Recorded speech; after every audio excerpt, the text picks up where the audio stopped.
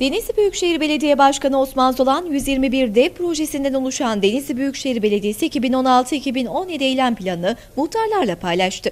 Denizli ve ilçesindeki tüm muhtarların bulunduğu tanıtım toplantısına ayrıca muhtar azalarıyla ilçe belediye başkanları da katıldı.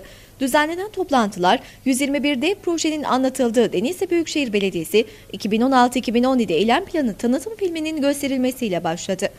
Denizli Büyükşehir Belediye Başkanı Osman Zolan, Denizli'nin büyükşehir olmasının ardından hızla hayata geçirdikleri ve hayati önem taşıyan itfaiye, içme suyu, cenaze gibi hizmetlerden bahsetti.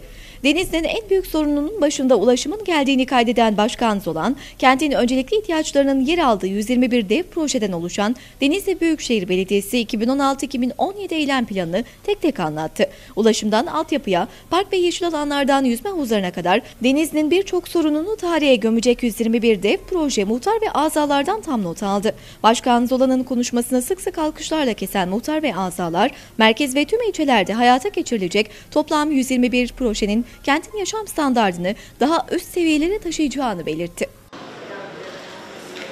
Çok değerli hizmet arkadaşlarım, yol arkadaşlarım. Hepinizi tek tek saydığımda unuttuğum kişiler olabilir. Unuttu ben sizleri hepinizi yol arkadaşı olarak görüyorum. Ve Denizli'nin hizmet ekibi olarak görüyorum. Bugünkü bu toplantımıza, davetimize hepiniz hoş geldiniz, sabahlar getirdiniz.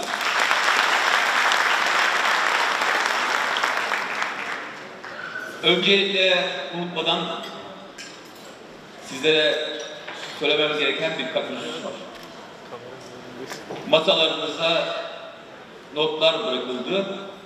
Ben her birinizin kafasındaki soru işaretleri, istekleri, talepleri noktasında arzu edilen işler noktasında bu notlarınızı yazmanız ve arkadaşlarımıza teslim etmenizi rica ediyorum.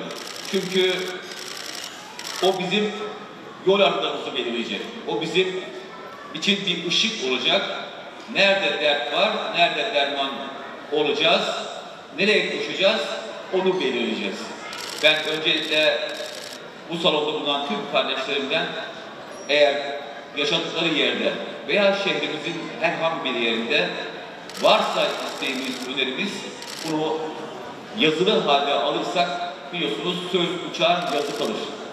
İnşallah arkadaşlar olarak bizler de onu harfiyen yerine getirmeye çalışacağız.